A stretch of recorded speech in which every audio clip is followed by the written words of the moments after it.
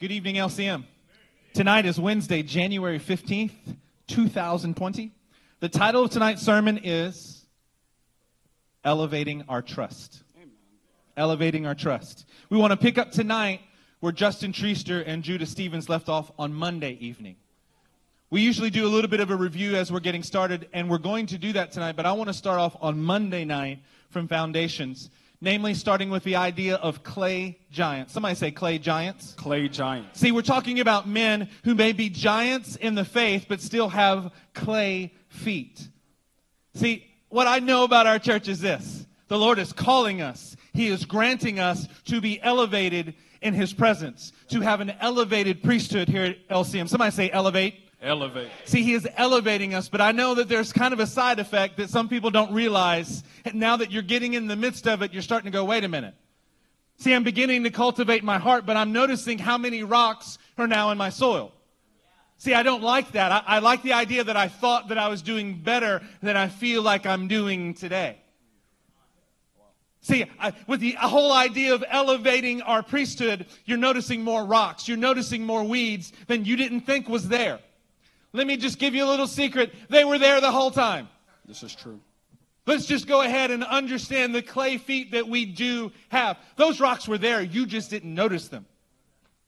See, those weeds were there, but they were choking things out. You just didn't know it.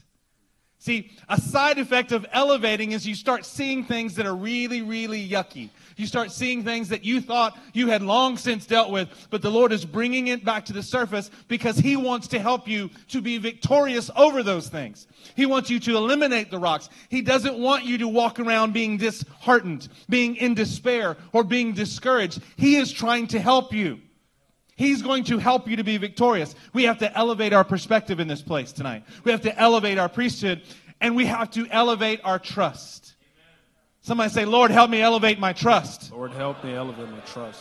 See, He's going to strengthen us in our trust grounded obedience to Him tonight. In Psalm 112, turn with me to Psalm 112. We're going to take a moment and read this together. Verse 7. Somebody say, there when you are there. There. Psalm 112 in verse 7. It says this He will have no fear of bad news. Who's the He there? The He is the one who has elevated their trust, the one who is elevating their priesthood. He, they will have no fear of bad news. Anybody get bad news today? Anybody had some bad news lately? Anybody had bad news when you're looking just within yourself?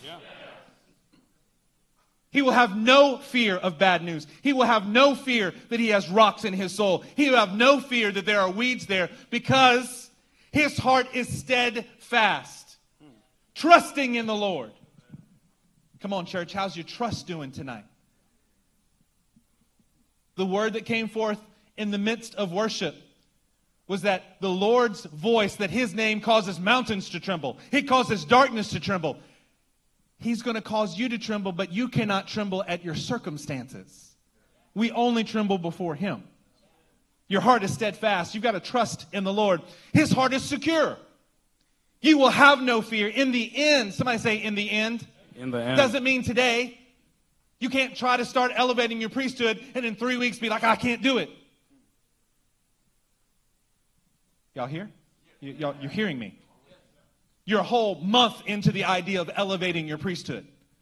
Anybody lost heart already? we can't. This is the beginning of a lifelong process that's going to allow us to, in the end, look on, look in triumph on your foes. But it's not going to happen today. So you just got to have a little bit of trust that if you do what's right today and tomorrow and the next day, each today that you are given, that you will in the end look in triumph on your foes. See, God's going to help us to elevate our trust tonight. Man, that's so good. When we're talking about elevating our trust, what we learned on Monday night is that we need to have a single solidarity of conviction. Say that with me. Single solidarity solidarity of conviction of conviction see when you have convictions that are trust grounded in the lord it guards you from the schemes of satan First peter chapter 1 verse 13 says that we're to prepare our minds for action see when the lord spoke to us on new year's and told us to elevate our priesthood church are you preparing your minds for action No, that's not a good response. Uh, that's, that was pretty lame. Are you preparing your mind for action? As Pastor Wade mentioned, this is not a three week stint of elevating our priesthood. This is a lifelong event that we're pursuing again and again and again. When we have convictions, they make you a fixed reference point that others can look to. So when you have convictions, others can look at you and say, because of what he is doing, because of what he is doing, I know where to go. See, we, the Lord has given us pastors and elders who have convictions. That's why we're all here. When you have single solidarity of conviction, it makes you a fixed reference, reference point for others to look to. It also means that you have convictions now, presently, that echo through the ages. When you have convictions now, when you stand in your convictions now, when you elevate your trust in the Lord now, that echoes through the ages. Amen. So on Monday night, we talked about clay feet. On Monday night, we talked about a single solidarity of our convictions. See, we learn on Monday night that David's not a great man because he was free from sin. David was a great man because he rightly dealt with his sin. Man, this is something that should be encouraging us today. We've got to move past the concept that success is avoiding all conflict, avoiding all difficulty, and avoiding all consequence. That is not what true success in the kingdom looks like. Rather, success is the unmitigated determination, resolve to have trust grounded obedience in every area of your life. When you see something from an elevated perspective and you realize that the rocks and the weeds are there, you realize that you have clay feet. What you are supposed to do is respond in trust and say, Thank you, Lord. Thank you, God, that I see another area that I can give trust grounded obedience to you in.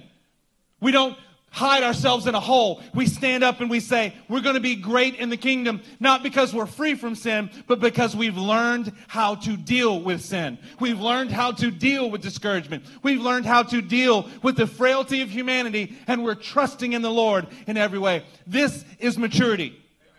Come on, do you want to be mature in this house? The Lord is demanding that we grow up. He's demanding that we look at things from a different perspective than we did before. Come on now, don't get discouraged. God is going to elevate our trust in this house tonight. David's relationship with God was not a transactional relationship or legal. His relationship was personal. In Psalm 51, he said, Against you and you alone have I sinned. So when we're talking about elevating our trust, it means that we have a relationship with the Lord. This is, this is not a, a relationship in a sense where you, you walk in and you pay somebody and they give you something, you leave. See, you have a relation with the Lord where He's your father and you're His son and you're His daughter and He speaks to you. See, David understood that. We must be in touch with the divine. Say that with me. We must be in touch with the divine. See, we must know our Father's heart.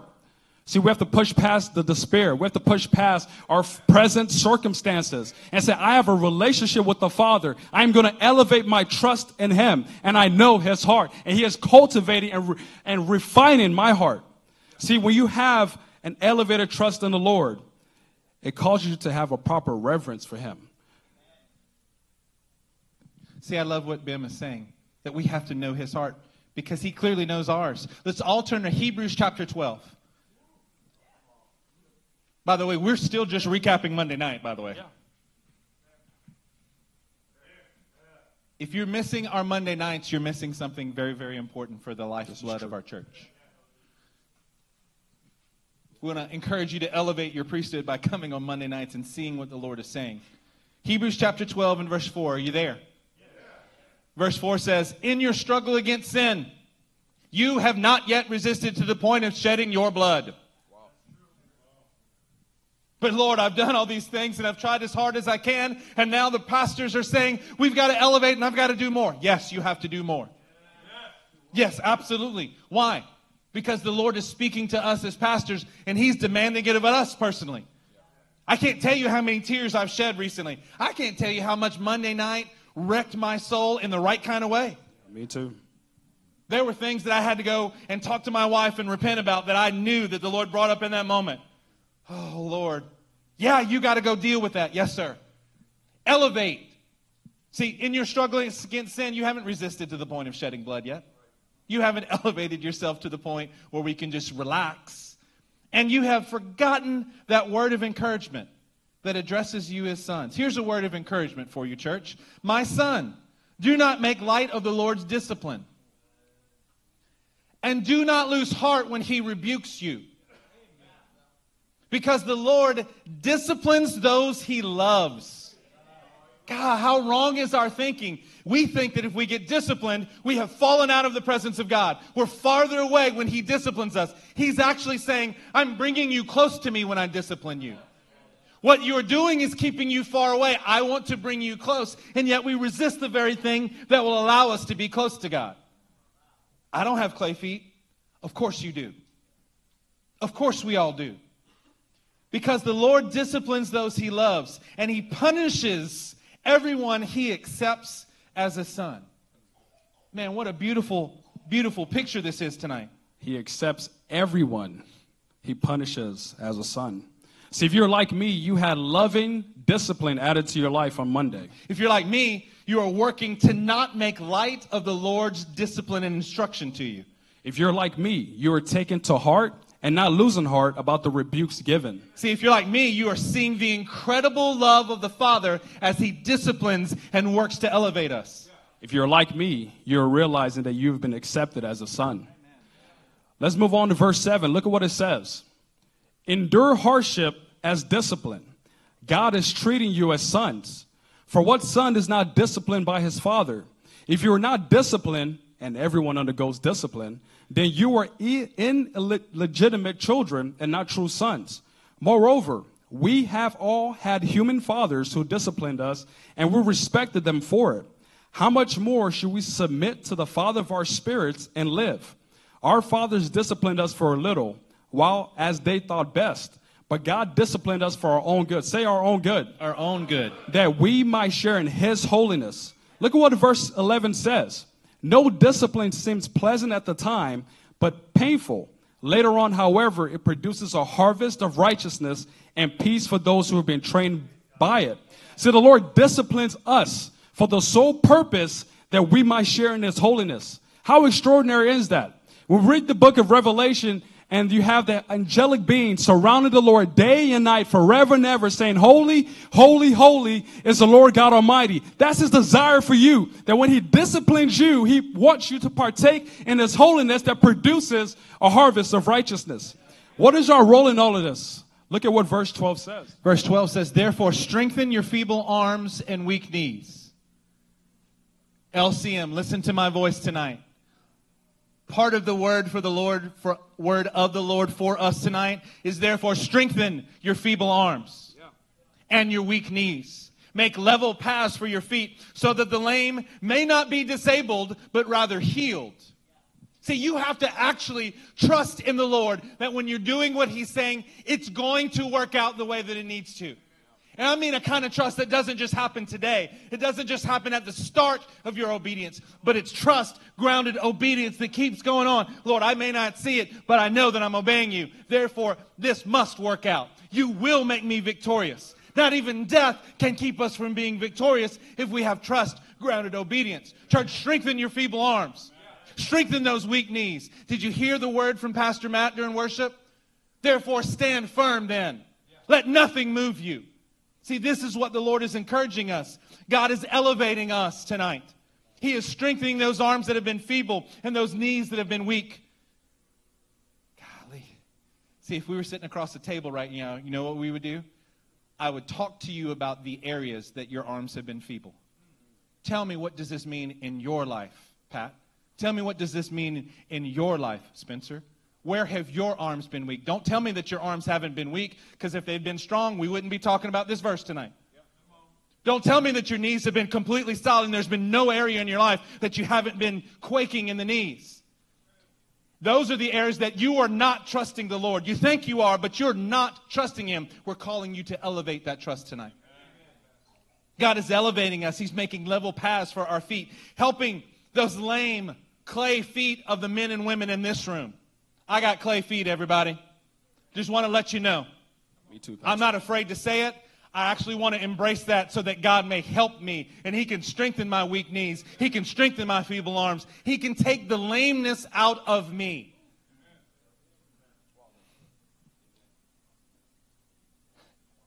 Don't you feel lame when he corrects you? You should feel less lame when he corrects you. He is correcting your lameness. I just I'm gonna make it I'm gonna make it work, people. It landed. God is elevating us. See, if fear says that he's not looking at our lameness, see, when you look at fear, when you look through the eyes of fear, you think that all he's seeing is your lame feet. He's not trying to disqualify you. He's not trying to disable you. What does this passage say? He is healing you. He is helping you. You are being made qualified as you have trust grounded obedience. He is qualifying you. And yet we feel the opposite, don't we? Oh, I thought I was further along than this. Woe is me. I can't do this.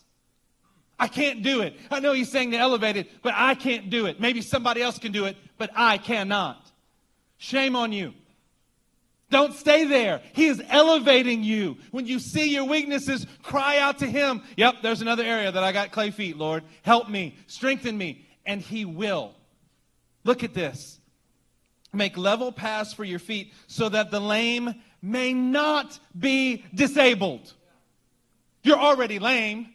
Whether you knew it or not, you were already in that state. He's trying to help you so that the lame won't be disabled. You won't be disqualified. My God, if we can get over the fear of being disqualified in this house, I don't mean some other place. I'm not, I hope the people going to watch by online are blessed by this, but I'm talking to you. But, Pastor, I'm lame. I mean, I just can't do. Stop it.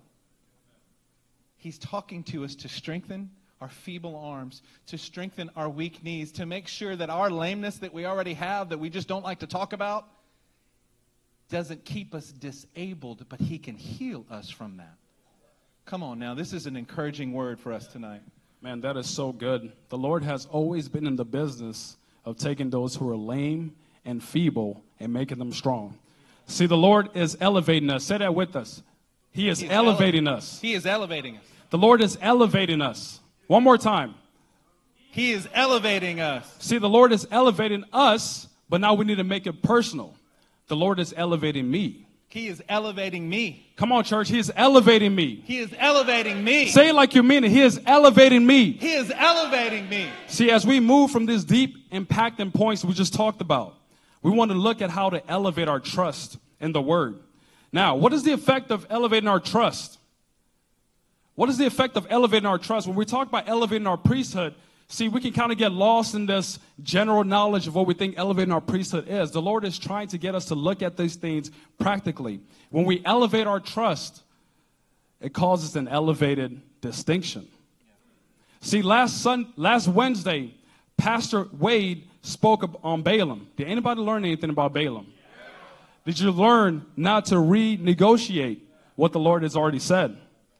See, he hinted at this in his last sermon when we talk about that elevated distinction. See, there was a distinction between the donkey and Balaam. See, the donkey saw the angel of the Lord while Balaam didn't. And the Lord made a clear distinction between him and that donkey. There's also a distinction between the nation of Israel and the enemies of God. See, while they are li- elevating their trust in the Lord as a nation, their enemies are looking for ways to put them out. And the Lord intervenes. See, when we put our trust in the Lord, it causes you to be distinct. While the rest of the world is going to hell in the handbasket and you stand with trust grounded obedience, it causes you to have an elevated distinction. See, it's one thing to have enemies that are external. Somebody say external. External. See, Balaam is, is representing, we, we heard that the Bible shifted perspective and we're looking at Balaam as an external enemy. Outside forces that are working against God's people. But let's, we're going to look at another example out of the book of Numbers. Turn with us to number 16, and we're going to find out that it's more than just external problems that we have to deal with, that there are internal problems that we must master. Numbers chapter 16, and we're going to look at verse 1.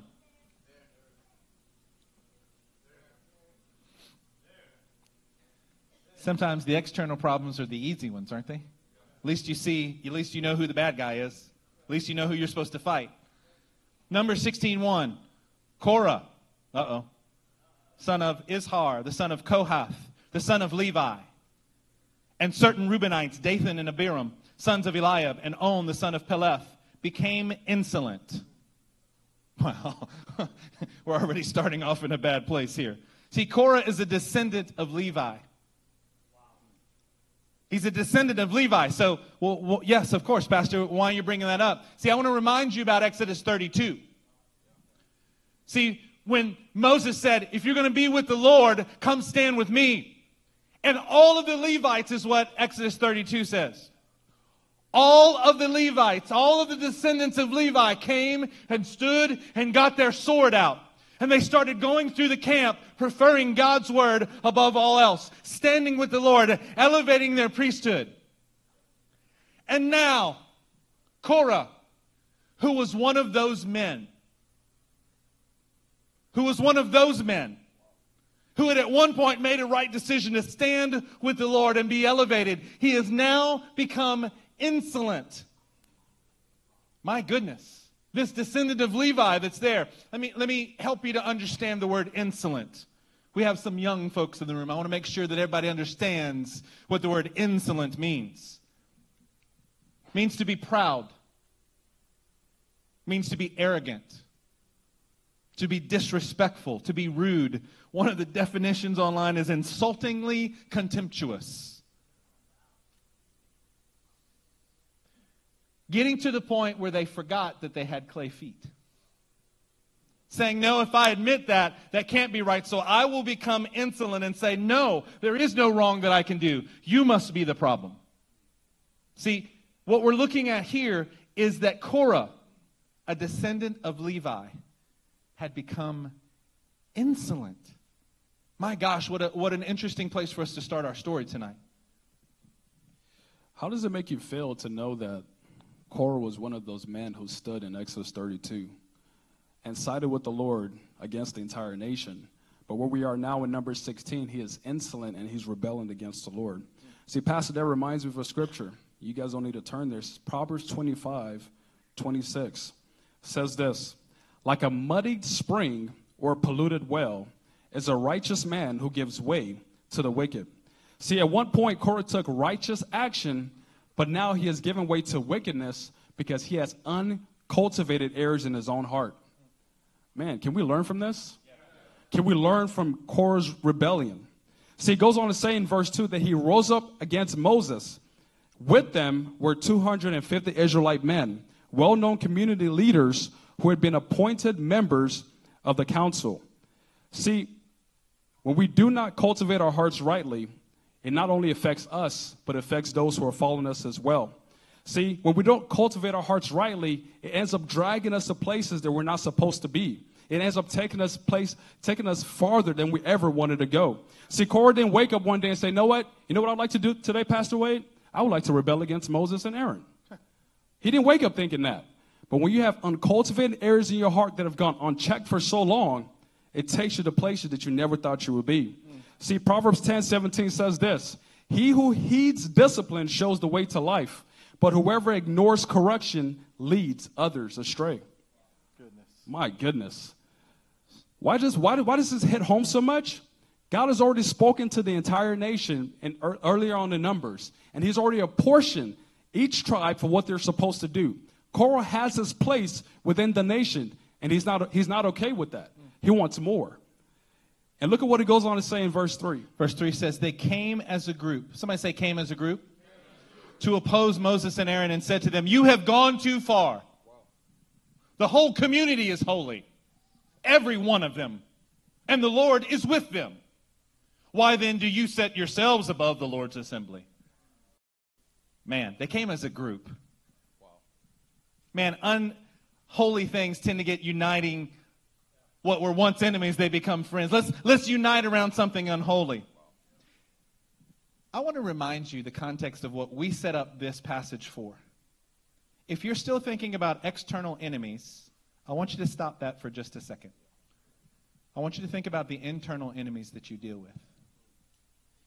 Anybody in the room ever had your emotions and your thoughts come as a group and gang up against you? Yeah. Instead of listening to the actual word of the Lord? They came to, put who do you, you have gone too far now. I know that whole commitment thing's done, but now you've gone too far. Now your kid is sick. See, and you get ganged up on, they come against you in a group. Now, now, see, the, The circumstances were okay then. Now the circumstances have changed, and your emotions begin to group up against you. Your thoughts begin to group with those emotions and come against you and make you afraid. You've gone too far. See, those who once had done the right thing, these 250 men that were along with Korah, were known. Uh, no, no, they're not just known, they're well known members of the ruling council. These are men who should know better. This is almost like it's at LCM, and we should know better than to allow the internal forces to group up against us. See, if you keep it external, then you miss some of the, the beauty of what God has for us in this passage tonight. You have gone too far. By the way, this is exactly what Moses says back to them in a few verses. The issue wasn't that Moses had gone too far, they were projecting what they were doing onto Moses. If you've ever been in leadership, you know what, exactly what that feels like. Someone will accuse you of their very rotten thing that they are doing. Just look at our political system right now. Let's be honest.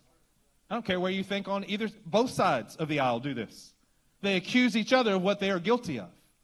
You can find out what they actually are guilty of. Just listen. They'll start accusing other people of it. I, uh, this is, I mean, we're kind of laughing. It's just true. This is what happens. Come on, church. Isn't it easier to believe that everything is actually holy in your life? Isn't that an easier place to be? Let me just put my blinders on. Let me go to a church that's strong. Let me feel really good about myself because if you remind me that I have clay feet, I immediately get in despair. I immediately have discouragement settle. Oh, no, just don't tell me that I'm messing up. Tell me that I'm okay. The biggest churches in our country just say, You're okay. You're a champion. Everything is good, guys. Let me encourage you. No, the encouragement is, is that he can bring us and elevate us and cause our lameness to not keep us disabled, but heal us from these things. But you cannot let your emotions, your thoughts, your will gang up against you and cause you to doubt and fear what the Lord has actually instructed you to do. You're no different than being in Korah's spot if you allow these things, again, internally, church. We'll deal with the, with the enemies outside. I'll, we'll deal with that later on in this message. We'll deal with that in other messages. Tonight I'm talking about what you're thinking. Tonight I'm talking about where your heart is trusting or having difficulty trusting in the Lord. This is where the Lord has us tonight. Just tell me I'm okay, Pastor. No, I want to elevate you tonight. Ben wants to elevate you tonight. The Lord wants to elevate you tonight. It makes us face the reality that we must elevate our priesthood because we have to elevate our trust. Look at verse 4.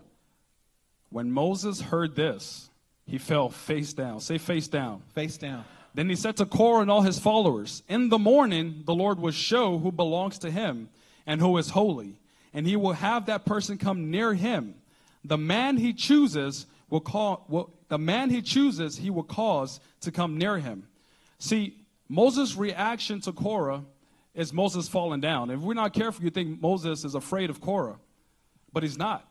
Moses showing reverence for God's name, and he falls straight down, and he says, The Lord will show who belongs to him and who is holy. He will have that person come near him. See, holiness causes us to have proximity with the Lord. Hebrews 12 says, Without holiness, no one will see the Lord. And Moses knows that while we're being holy, because the word calls us to be holy, it brings us closer to the Lord. See, holiness requires you to divide from those who are far from the Lord. Man, we just established earlier that we're no longer fo- focusing on what is external, but what is eternal. Holiness requires you to divide from those who are far from the Lord, divide from those thoughts that are far from the Lord, those feelings that are far from the Lord, those emotions that are far from the Lord, and elevate our trust in His Word. See, in this story, we're going to find out that a division is coming. Church, anybody realizing in this moment that there are some thoughts that you need to separate yourself from? Some emotions that you need to separate yourself from? Let's skip down to Numbers chapter 16 and verse 25. Number 1625 says this Moses got up and went to Dathan and Abiram. See, he wasn't just weeping, he began walking. See, he was getting his heart right and began immediately walking. He got up and he went to Dathan. He went to Abiram, and the elders of Israel followed him. See, men who are walking towards God's presence are going to show others the way and they will follow. He warned the assembly, move back from the tents of these wicked men. Somebody say, move back. Move back. Do not touch anything belonging to them, or you will be swept away because of all of their sins. You could get swept up because of your thoughts, because of your emotions, your own will. Don't get swept away by those things. Move back from those thoughts, church. Those thoughts that demonstrate clearly a lack of trust. If you have said to yourself, I don't think I can do this, that is a moment of having lack of trust. You better move back away from that. You better stay away from that. I'm not sure that I can accomplish this. You better move away from that. You better step back away from that because God has something more for us. He is elevating us. He wants you and is demanding that we elevate our trust. How many times can we say this but not actually do it in our everyday walk? Lord, I trust you until it's just difficult at all. Until this one thing happens, and I don't understand why this one thing has happened. The truth is that sometimes it doesn't even take something to happen in your life. You just wake up in the morning and you're like, oh, I don't know if I can do this. Thank you for the truthful laughter in the people in this house. You know it wasn't even anything difficult that happened. You're just like, uh, it's Tuesday. I don't think I can do this.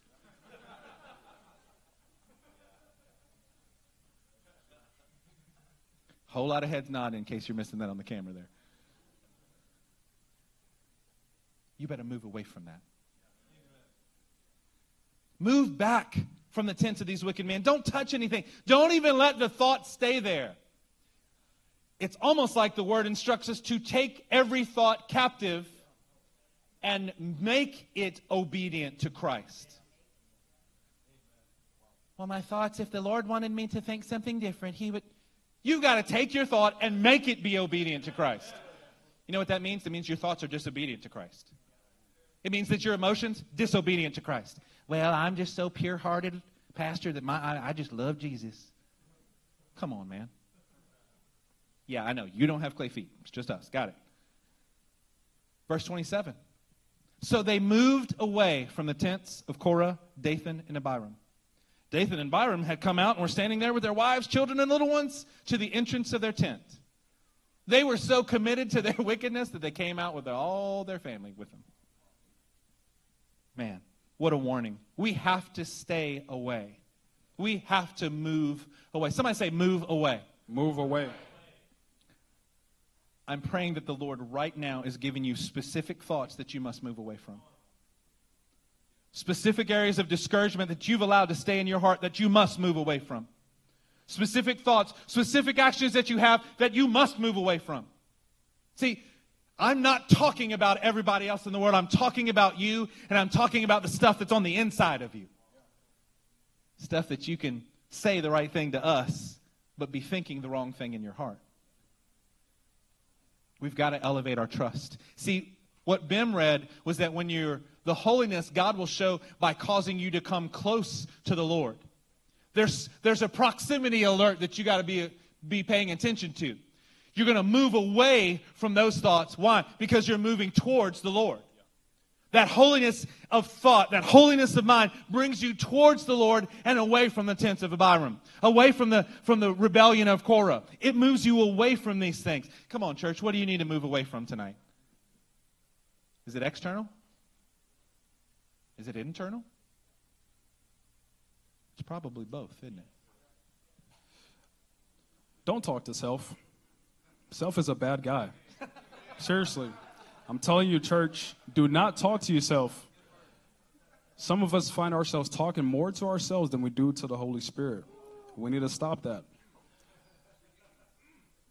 In number 16, picking up in verse 31, it says this As soon as he finished saying all of this, the ground underneath them split apart, and the earth opened its mouth and swallowed them with their households and all of Korah's men and all their possessions. Verse 33. They went down alive into the grave with everything they owned.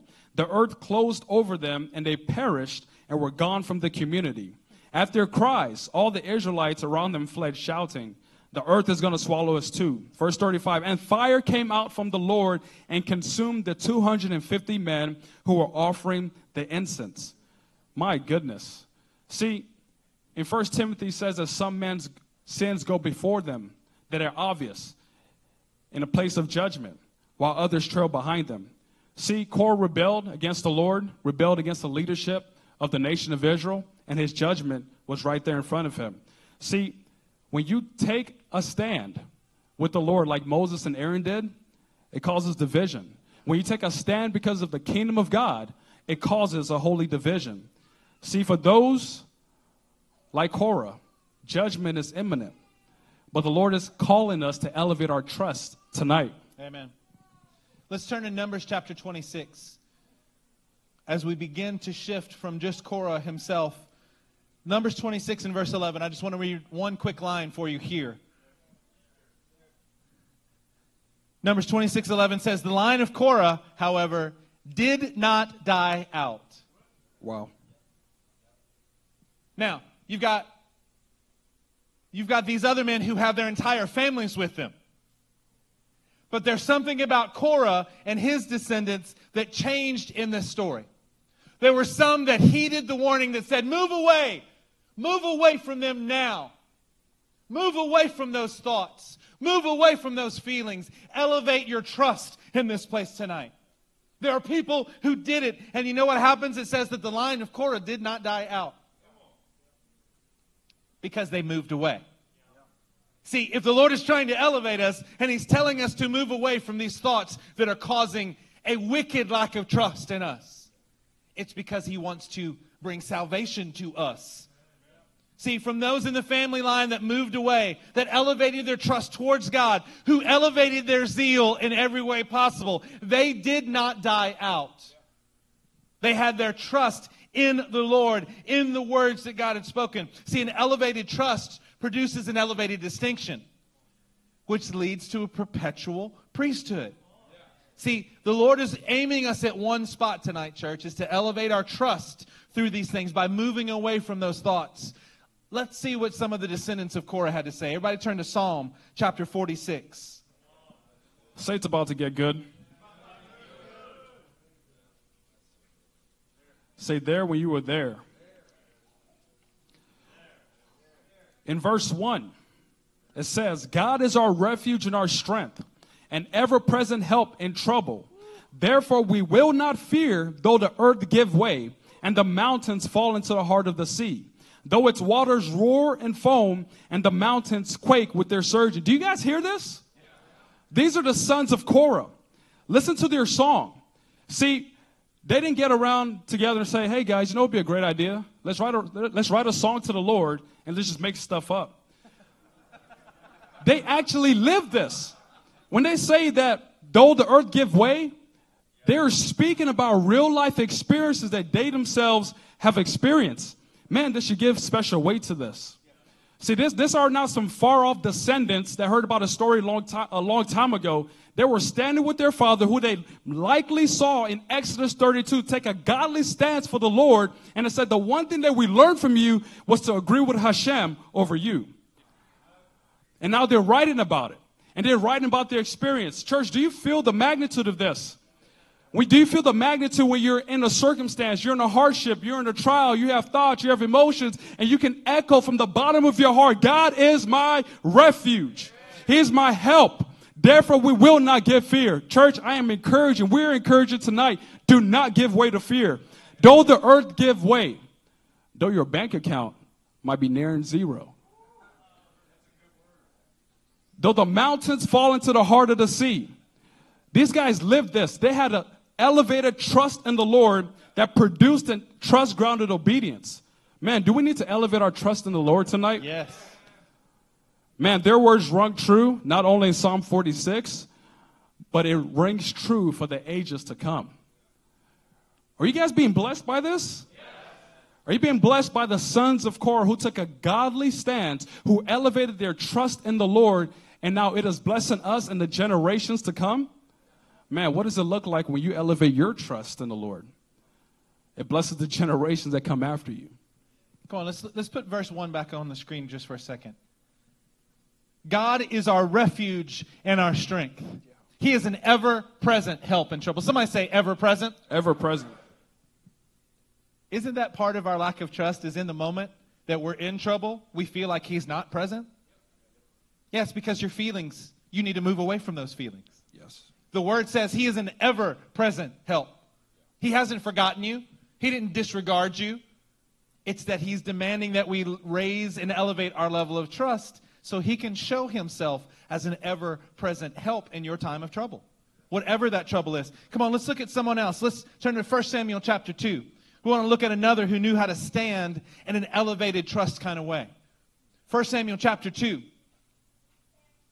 and verse 35. Get it, Annie. First one in the church. Annie Clement, right there, people. Better elevate your finding the scripture. Come on.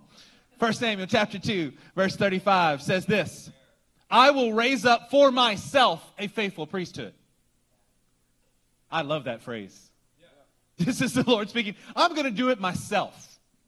See, you don't even have to worry about if the Lord can do it. He is saying, I will elevate you. I will raise up for myself a perpetual priesthood. You think you can do it? Yeah, you got clay feet. Don't worry about that. I'm going to do it for you. I'm going to help you to do it. What your part of this is a trust grounded obedience that just never stops, that just never lets up. God Himself will raise up for Himself a faithful priesthood who will do what is in, in who will do according to what is in his heart and in his mind. See, he doesn't have to move away from his thoughts. He doesn't have to move away from his emotions because they're always right.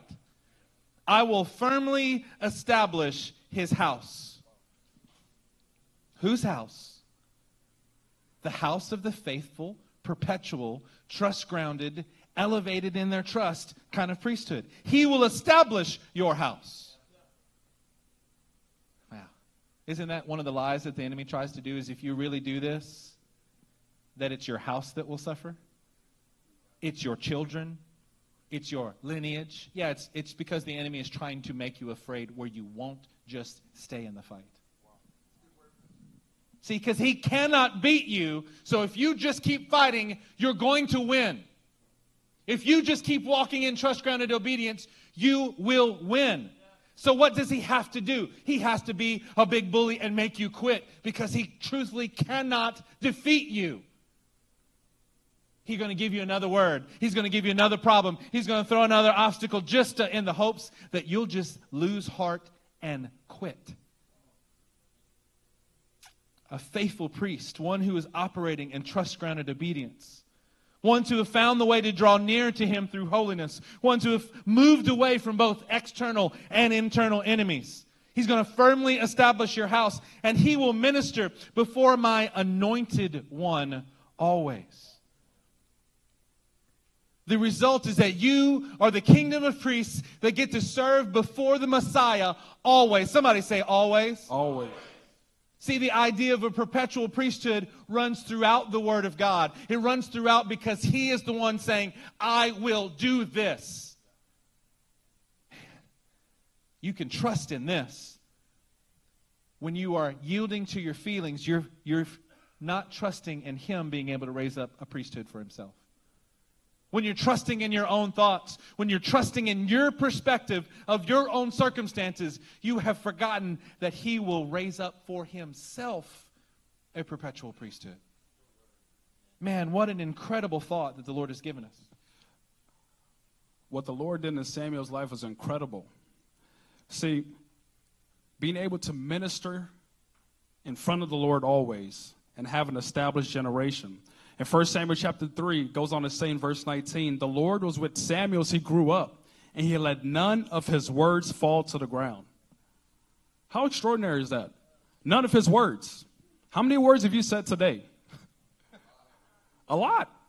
The Lord says none, none of his words fall to the ground. It's because he had an elevated trust. See, an elevated trust produces an elevated distinction, which leads to a perpetual elevated priesthood.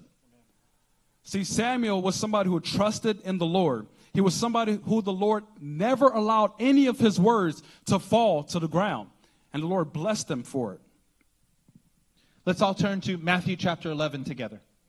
Matthew chapter 11 and verse 11. See, we've looked at those battles that Korah had, those internal battles that we talked about tonight through the story of Korah. We've talked about Samuel, who learned how to elevate his trust and how to, he became the, the leader of a school of men who learned how to elevate their trust and prophesy rightly. Matthew 11, here's another kind of man that we have to look at. I tell you the truth, Matthew 11, 11. Among those born of women, um, should make you think. Among those born of women. I just love that phrase. Wait, isn't that everybody? Yes, that's the point. it's just to bring attention to that very point. Everyone. I tell you the truth, among those born of women, there has not risen anyone greater than John the Baptizer. Not been anyone. Man, none greater. Somebody say none greater. None greater. When you think about Isaiah chapter 40, you don't have to turn there in verse 3. It says, A voice of one calling in the wilderness. Isn't that great? He's not even talking about his own words, he's just talking about the voice. Isn't that really what we're all supposed to be doing? Is being but a voice? being only a voice that speaks what God has said, a voice of one calling in the wilderness. It's His Ruach, it's His Spirit that breathes through us. It's His power that causes us to move, but we are the voice, a voice of one calling in the desert, prepare the way for the Lord, make straight in the wilderness a highway for our God. Well, doesn't this sound like Hebrews that we started off our evening with?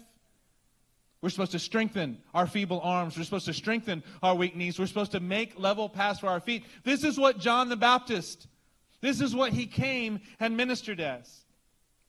I just love this verse. I tell you the truth. Among those born of women, okay, got it. There has not risen anyone greater than John the Baptizer. Yet he who is least in the kingdom of heaven is greater than he. All right, let, us not pretend like you've heard this verse a hundred thousand times. Let's, let's, let's put ourselves where we're hearing this for the first time. Kind of an illusion of the first time, and you're going, wait, what is he saying? Well, clearly we can be talking about the one who's speaking this here. That there's no one greater except those who are least in the kingdom. See, of course, this could be talking about the Messiah, that there has been no one greater except for the Messiah. But what did he do? He elevated his trust because he made himself nothing.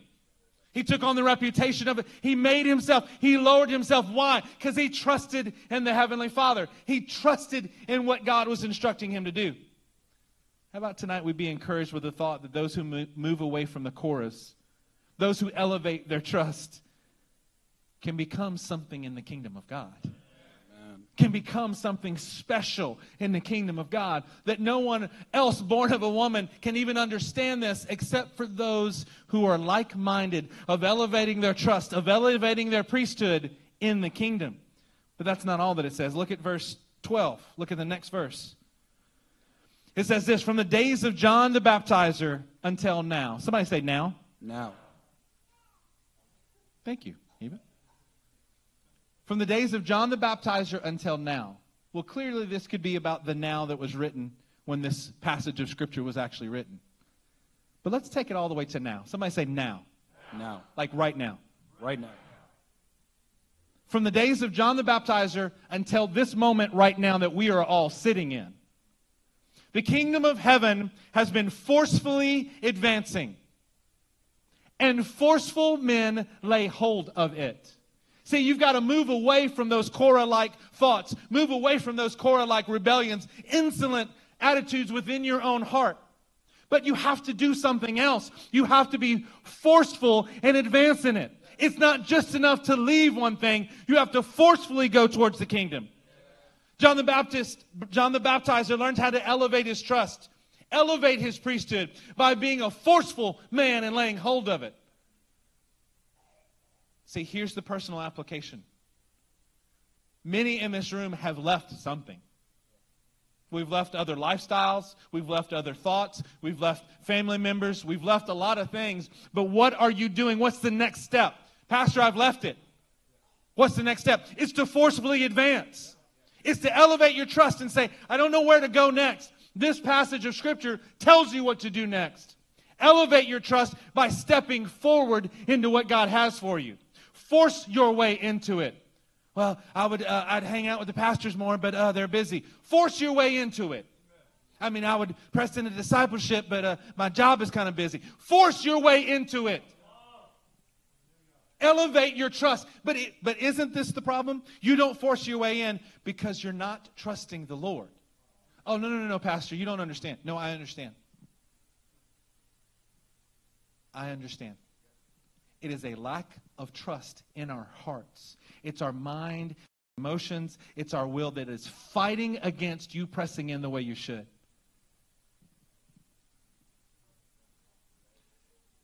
How many of us in this room came up to a pastor or an elder at the conference in October, said, Pastor, I'm going to follow you wherever you go?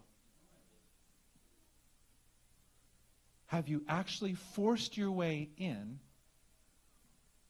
or have you just moved away from the things that God has told you to do? This is a cause, this is an action that is resulting from our lack of trust. See, but the Lord is going to help us because He's giving us from the days of John the Baptist until today, January 15th, 2020, until now. See, the way the kingdom of God has been advancing is that forceful men, violent men come in and they advance their way into it. They force their way into it. I was having a discussion with my wife the other day, and she was worried about, we were talking and praying about some of you. I said, Hey, I want you to understand. My wife is such an incredible, godly woman. She's, she's crying over people in this, in our church. And we want to act rightly before the Lord. And what I know is, I felt encouraged in the moment to say, Was there anyone who ever stopped us from getting what we needed to get from the Lord? Was there any set of circumstances that we just would like, well, we didn't have very many people even helping us to do this? much less a group, a room full of people who care about each other, a room full of people who can show you what it's like to be forceful. We had no one to help us do that. We had people working against us. And it made no difference because we actually love Him. We were going to entrust ourselves to Him. And if we never made anything of ourselves, we were going to trust that as long as we pleased Him, it didn't matter. Come on, church. Are you going to start trusting Him more? Are you going to elevate your trust tonight? Forceful men are going to force their way into it. It doesn't have to be handed to you. You trust in the Lord, you cannot lose. You cannot be broken in this. You just step forward and advance and violently take hold of what you need in this kingdom. That's how you show that you are trusting in Him above all else. What can stop you? What can defeat you? His name causes darkness to tremble. At the name, at his breath, he can cause the mountains to quake. And he is inside of you. When we finally move past thinking that and actually trusting in that, we're going to be these forceful men who to this day can advance in the kingdom. Do you guys want to be forceful? Yes. See, I'm moved by what Pastor Wade just said, and it reminded me of the Gospels in Mark. See, it says that a woman with an issue of blood for 12 years, struggling, no doctor could help her. And she saw Jesus. And it says that Jesus was surrounded with a large crowd and they were pressing on him. Pressing on him. She saw him, she had fears, and she elevated her trust over her fears. See, she didn't just walk up to Jesus because the, it, it parted like the Red Sea she saw that a crowd was pressing against him and she decided that I want to get healed and I know where my healing comes from.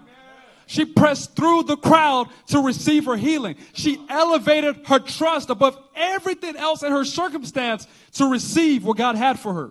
Are you guys going to be forceful? Are you going to press in? Are you going to look at the crowd and say, I don't care how big the crowd is, I'm going to go straight in?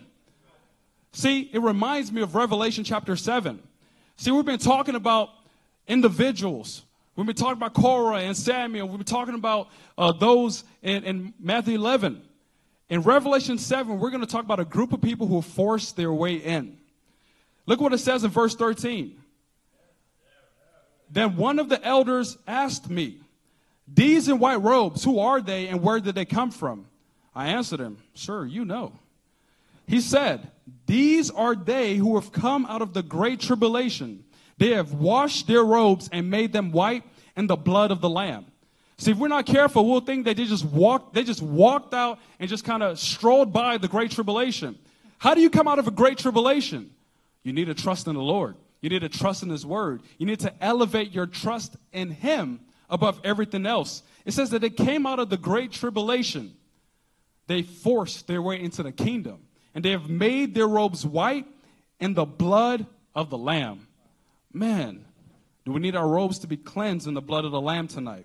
Look at the result of this. Look at the result of being forceful due to having an elevated trust in the Lord. Look at what it says in verse 15. Therefore, say therefore. Therefore, They are before the throne of God and serve him day and night in his temple, and he who sits on the throne will spread his tent over them.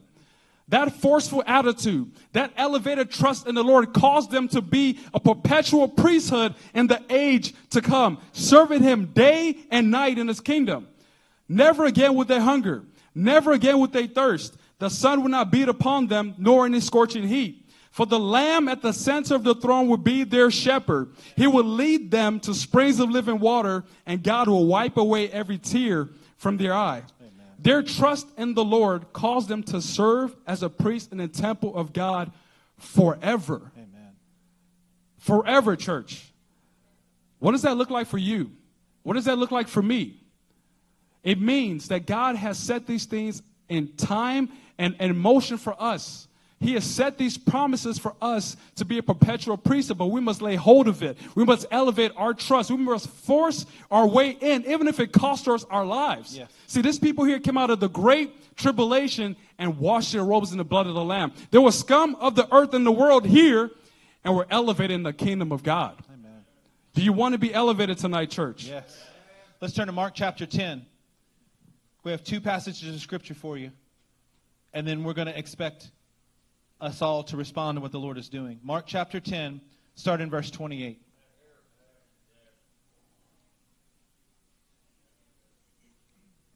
Peter said to him, We have left everything to follow you. We've left it all. But did they just move away from one thing?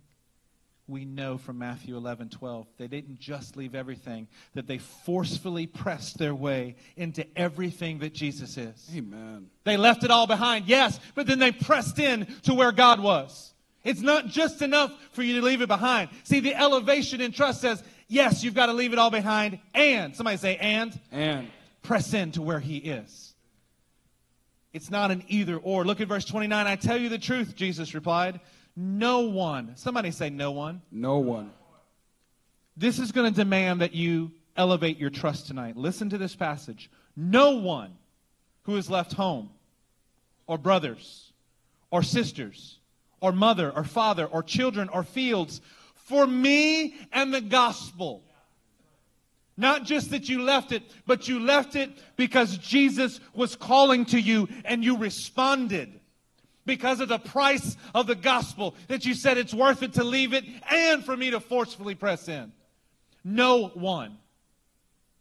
You are not exempt from this process if you have done this process. When you elevate your trust, you can count on what I'm about to read to you. No one will fail to receive a hundred times as much in this present age.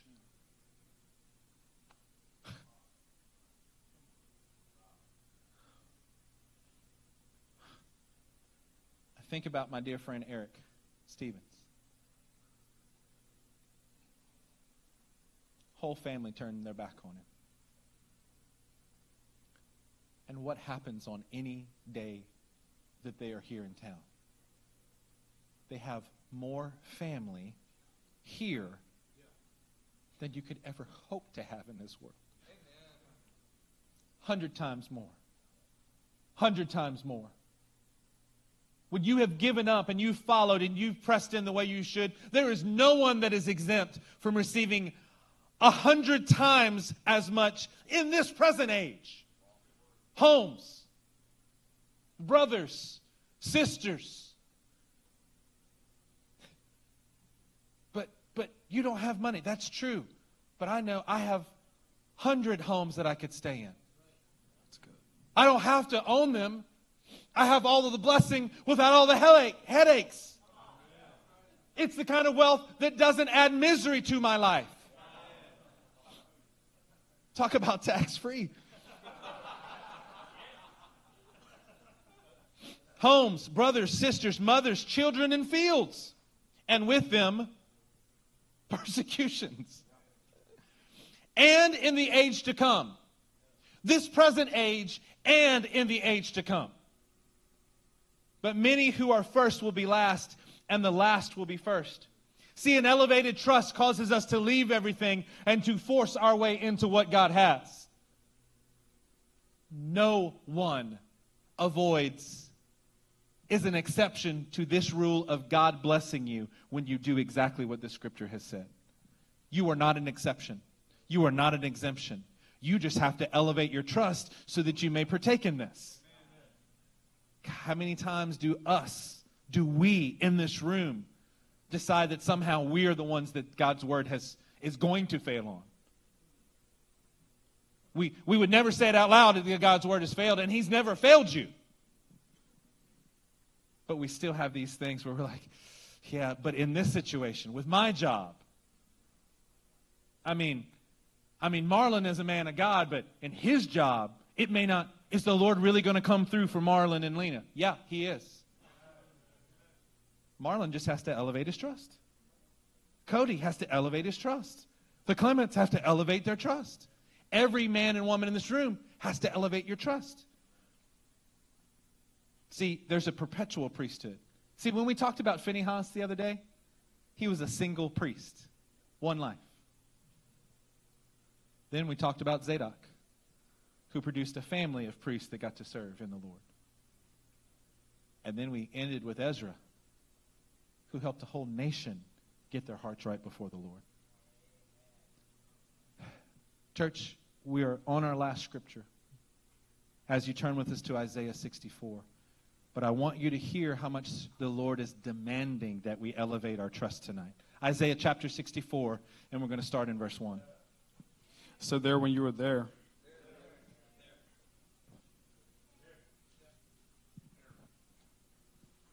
Verse 1 Oh, that you would rend the heavens and come down, that the mountains would tremble before you, as when fires set twigs ablaze and cause water to boil. Come down to make your name known to your enemies and cause the nations to quake before you. For when you did awesome things that we did not expect, you came down and the mountains trembled before you. See, in Isaiah 64, this is not something that we can just read passively. This should be our heart's cry. This should be from the, the, the, well, the wells of our soul crying out to our King that, Father, would you come down? Would you rend the heavens? Would the mountains tremble before you? Would you rend the heavens and come down in our midst? Would you do something that we did not expect? This has to come from a place of elevated trust in His name. This has to come from a place of exalting His name above every other name, exalting His word above every other word, and say, Father, would you do something awesome tonight? Lord, I've been battling my thoughts. I've been wrestling with circumstances. There are trials, there's hardships, but Father, would you come down? Would you rend the heavens tonight? See, He, he is who was and is to come. In the book of Revelation, who was, who is and is to come. He was the one who saved you in your past circumstance. He is saving you now and he will save you to come. Can this be your heart's cry tonight? Look at verse 4. Since ancient times. Pastor, I thought you said earlier, since the times of John the Baptizer. Yeah, what we're telling you goes even back further than John the Baptizer. Since ancient times, no one has heard, no ear has perceived, no eye has seen any God beside you who acts on behalf of those who wait, who trust, who elevate their trust in Him. There's no God besides you who acts on the behalf of those who wait for Him. My God. Church, tonight, you should have no fear of bad news. Your heart should be steadfast, trusting in the Lord. If we're going to have a perpetual priesthood, if we're going to elevate, if we're going to cultivate our own hearts, you have to elevate your trust. This is a simple, simple thought that we have for you tonight. I want everybody to stand to your feet quickly and reverently.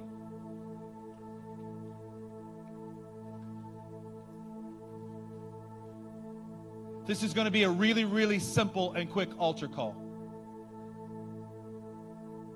Do you want to elevate your trust or not? Do you want to move away from those thoughts and feelings that are acting in an insolent manner towards the Lord of all creation? The moment that I begin to pray, this altar becomes a place where you're going to elevate your trust. You may fall to a knee, but you're going to be elevating your trust here at this place. You may have to repent, but you're going to be elevating your trust at this altar tonight. Mighty God, I thank you that you have given us the right word tonight. I thank you, Lord, that your word is true. Let every man, let every thought, let every desire that does not in accordance with you be called a liar in this place tonight. Elevate our trust tonight, mighty God. Let us move away from those feelings. Let us move away from those thoughts that are opposing what you are doing in our lives. Help us. Help us to cultivate our hearts now, Lord that our clay feet will not discourage us, but we will elevate our trust and see that you are trying to strengthen our feeble arms. You are trying to strengthen our weak knees, that our lameness, Lord, may not be disabling to us, but that we may be healed in Jesus' name.